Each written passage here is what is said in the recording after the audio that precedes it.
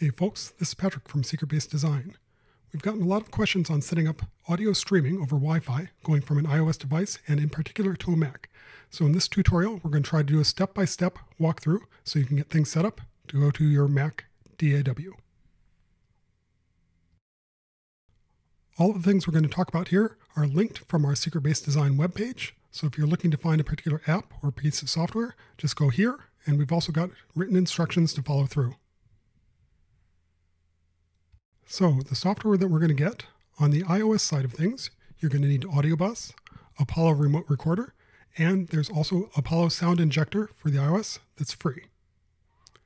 On the Mac side of the picture, there's an Apollo Sound Injector AU that's on our webpage, and you'll also want to pick up Soundflower from Cycling 74 and Hosting AU from JOX.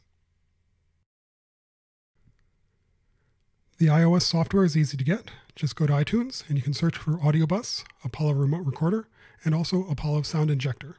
Easy to install and runs on any iOS device. You probably already know how to do this, but setting things up under AudioBus is fairly simple. Just drop any synthesizer into the input slot, and you can put Apollo Remote Recorder into the output slot. On another iOS device, you can put Apollo Sound Injector into the input slot, and then whatever DAW you want into the output slot. And if that's all you're going to try to do, just a couple of iOS devices, this is as far as you need to go in the video, and you can set things up and get running right now.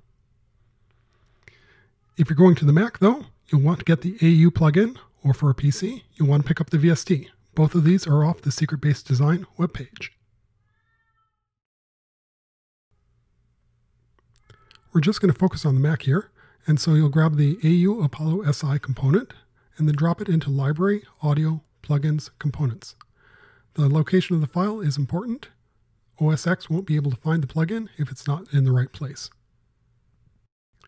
Once the plugin is installed, you can see it in something like Logic, but we're going to do a little bit more here so that it's a little bit more flexible routing and you can connect to things like Ableton Live and other DAWs.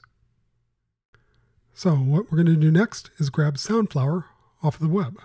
This is a kernel extension for OS X, and it's available for free from the guys at Cycling 74. A very useful bit of software that lets audio be sent from one application to another. Once you've got it downloaded, you'll just do a regular package install, and you might need to reboot your system. Next up is going to be Hosting AU from JU-X. It's again, it's available free off the internet, and it's a very useful little app.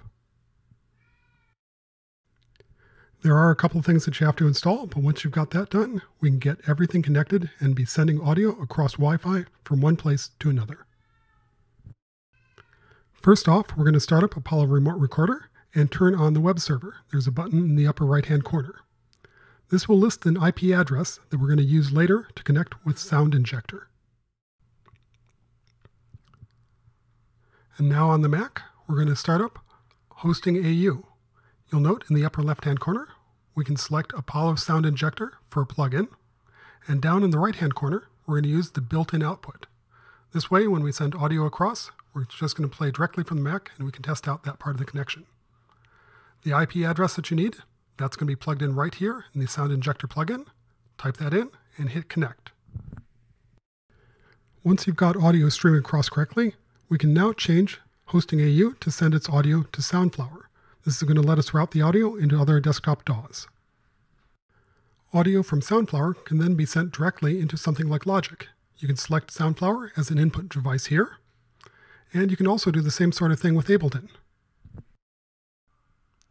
Here's the control panel in Live. Again, we'll select the audio input device as Soundflower, and then any audio that's streaming across Wi-Fi will land directly in there. So here's the full connection chain. We're going to send audio from some sort of synthesizer to Apollo Remote Recorder, and that's going to be on Audiobus on your iOS device. Apollo Remote Recorder will then send to Apollo Sound Injector, and that's going to go across Wi-Fi. Once the audio reaches Apollo Sound Injector, it passes off to Hosting AU, and then, finally, Hosting AU will send it to Soundflower and then to your desktop DAW. One of the first questions you're going to ask is about latency, and how much latency you see is going to depend a lot on your Wi-Fi network. If you're downloading a movie at the same time, it's not going to work very well. and it's generally not probably fast enough for live playing, but it should be great for recording. Apollo Remote Recorder and Sound Injector and all the other tools are available now, and you can pick them up off the internet. If you've got questions, please drop us a line.